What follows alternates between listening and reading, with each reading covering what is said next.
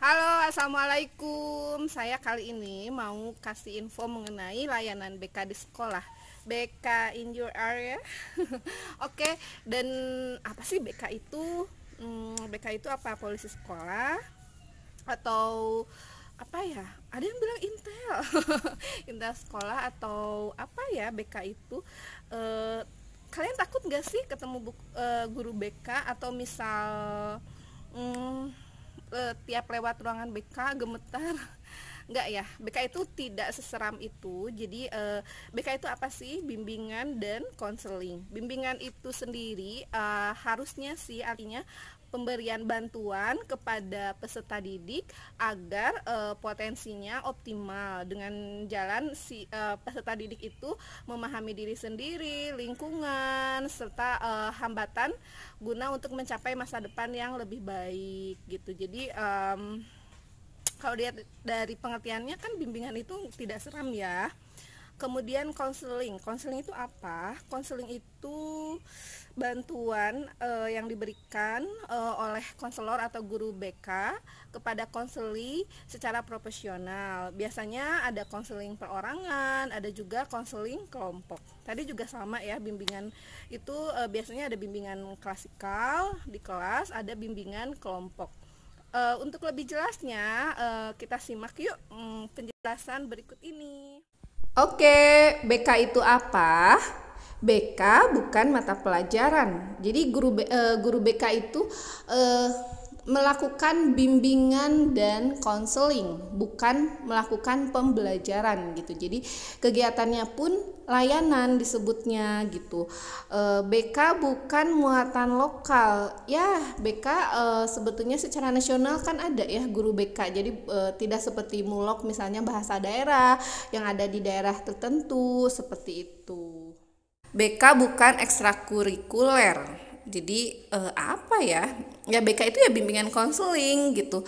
Kalau untuk jamnya, kalau eh, beberapa sekolah sih biasanya ada yang menyediakan eh, jam masuk kelas, tapi ada juga yang eh, di luar eh, kelas eh, bisa di ruang BK atau kadang ada bimbingan kelompok di lapangan atau di mana gitu. Itu fleksibel ya kalau BK itu dan gurunya sama seperti guru mata pelajaran.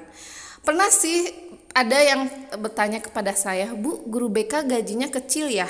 Loh, kenapa? Terus dia bilang, karena dia nggak ngajar ke kelas.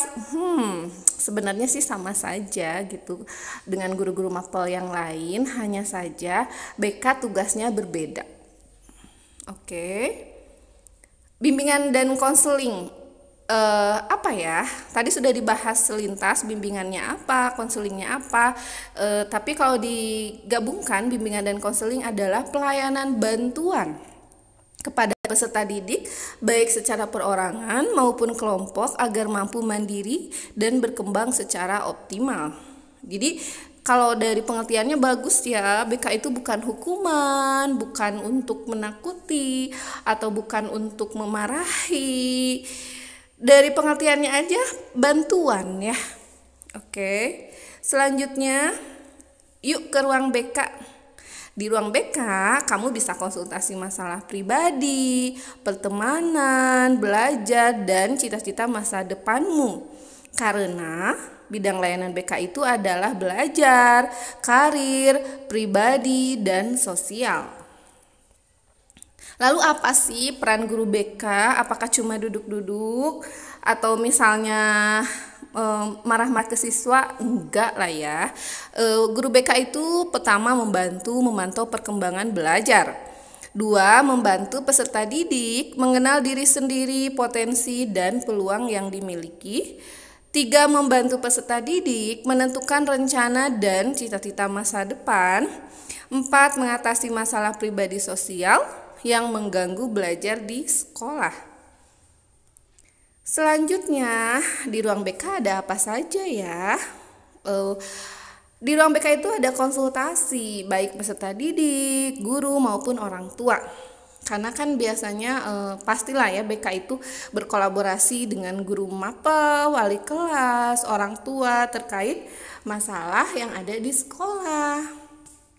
jadi orang tua juga dibantu uh, uh, maaf orang tua juga diminta untuk uh, support uh, jadi bagaimana keadaan di rumah atau lingkungan masyarakat seperti itu.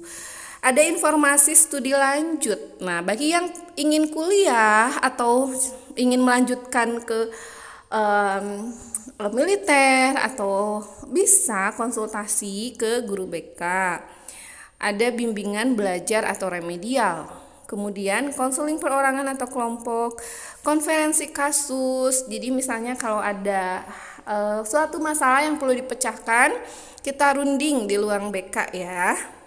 Bimbingan perorangan atau kelompok dan sebagainya. Jadi uh, eh, BK juga ada advokasi, ada kunjungan rumah. Jadi jangan aneh nanti kalau suatu saat dikunjungi guru BK. Disambut saja ya. Selanjutnya, mengapa ke guru BK? Mengapa? Ayo. Tenang, rahasiamu terjaga. Karena guru BK itu punya kode etik yang harus ditaati, yaitu salah satunya menjaga rahasiamu. Kemudian guru BK peduli dan simpati. Guru BK juga kuliahnya belajar cara peduli, cara simpati.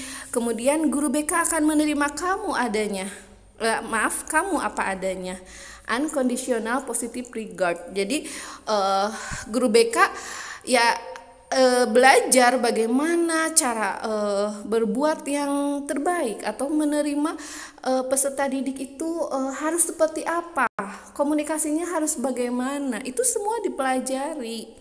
Kemudian guru BK tidak akan menghakimimu, tapi memahami masalahmu. Guru BK itu tidak belajar tentang uh, apa menghakimi orang tidak.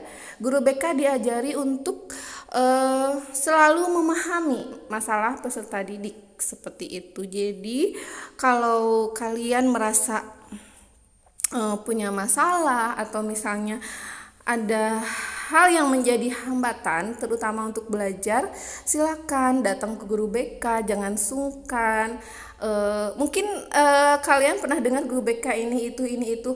Kalian uh, uh, percaya saja bahwa tidak semua uh, juga memiliki uh, sifat seperti uh, mungkin yang sudah didengar guru BK apa gitu ya. Uh, karena memang uh, seharusnya tidak begitu Oke, uh, cukup sampai di sini uh, penjelasan dari uh, saya. Mohon maaf apabila ada kesalahan. Sampai jumpa lagi.